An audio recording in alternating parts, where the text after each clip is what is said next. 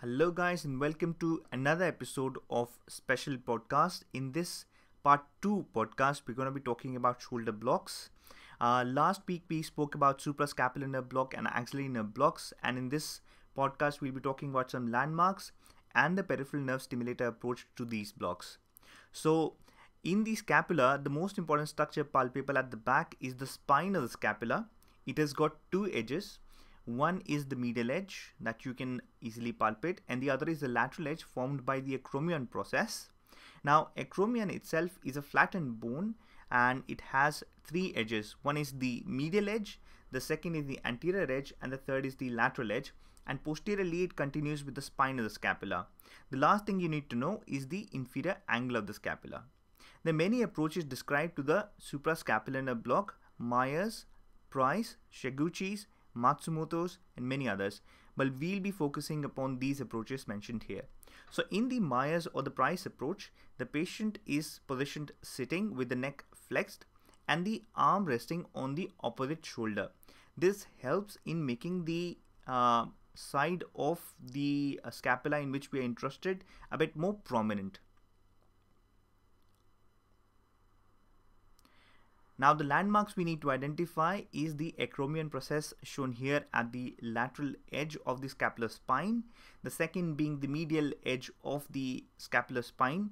We combine these two points to get the spine of the scapula, choose a point at the midpoint of this line and then put the needle 2 centimeters cranially and 2 centimeters medially uh, to the midpoint of the spinous scapula.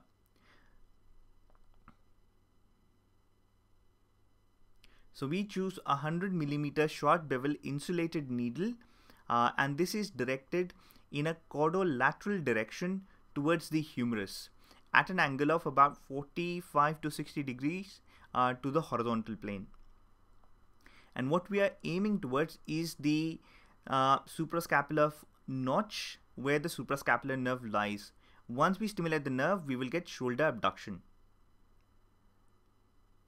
As shown here, once we stimulate the nerve, the shoulder abduction is produced, which makes the arm move out and easily helps in identifying uh, that we are very close to the nerve.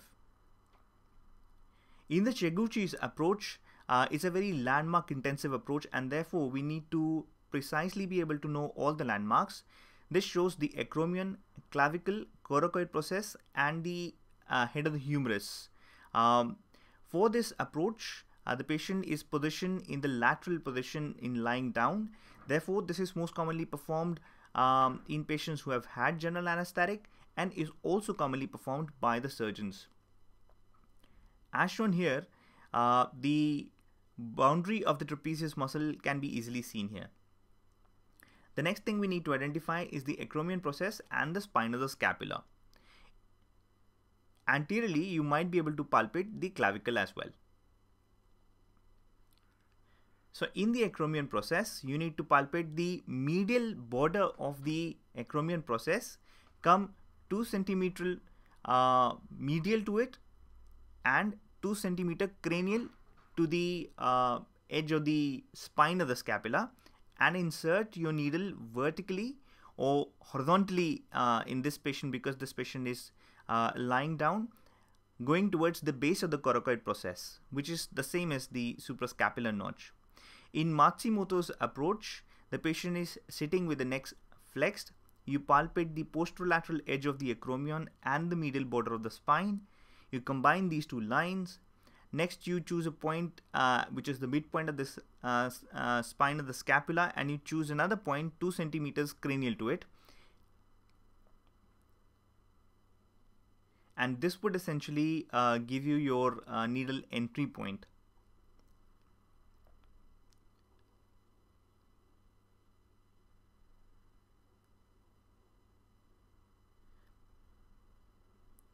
Now you need to use the same needle, 100 millimeter insulated short bevel uh, needle, and you're directing your needle uh, about 60 degrees in the uh, parasagittal plane, keeping your needle uh, in the parasagittal plane itself. You're hoping to hit the base of the coracoid process or the suprascapular notch because it's almost the same thing and you're dumping in your local anesthetic in there.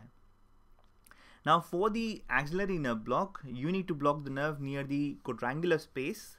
And we had spoken about uh, the quadrangular space in the last podcast as well. Uh, it is bounded superiorly by teres minor, inferiorly by teres major, medially by the long head of triceps and laterally by the humerus. And through which the axillary nerve comes out laterally supplying the deltoid muscle and the shoulder joint uh, and also is accompanied by the posterior circumflex humeral artery. Now in the Price approach to axillary block there are two landmarks to be palpated. First is the posterior lateral edge of the acromion and the second is the inferior angle of the scapula. You join these two uh, points uh, um, and the midpoint of this uh, line is chosen through which a horizontal line is drawn. Uh, let's call the first line as line A and the second line as line B. Now we drop a vertical from line A and we call that line C. The intersection of line C and B give us the needle insertion point which approximately correspond to the quadrangular space. Having a look at this in the patient itself, you can easily feel three landmarks, medial edge, acromion and the inferior angle. You first draw a line between acromion and inferior angle which is line A. At the midpoint you draw a horizontal line which is line B and then you drop a perpendicular from A uh, getting a line C and the intersection of line B and C is the needle entry point. Now in Checcucci's approach, uh, it's not very different from Price's approach, but he used slightly different landmark. He uses uh, the acromion process and the olecranon as a two landmark and draws a line which is vertically passes through it. Next, he identifies the axillary fold or the axillary crease and draws a horizontal line uh, passing through the top of the axillary fold. So let's call the vertical line line A and the horizontal line line B. Uh, 2 centimeters above the intersection of these two lines is the needle insertion point which again approximately corresponds with the quadrangular space and where the axillary nerve lies. Having a look at this point in the patient, you can see the acromion process and the olecranon as shown here and the axillary fold is identified. Next, you drop a perpendicular from acromion to olecranon line A and a horizontal through the top of the axillary fold line B and you choose a needle entry point 2 centimeters above the intersection of these two lines. What you need to use is about 50 millimeters insulated needle uh, and once you stimulate the axillary nerve you will get a deltoid evoked motor response. If you do not get a twitch you just hit the bone, withdraw the needle and inject your local anesthetic. So to summarize, for the suprascapular nerve block, we've got the Meier's or Price approach uh, and the Matsumoto's approach in which the patient is sitting. The Checcucci's approach, the patient is in lateral position uh, and lying down.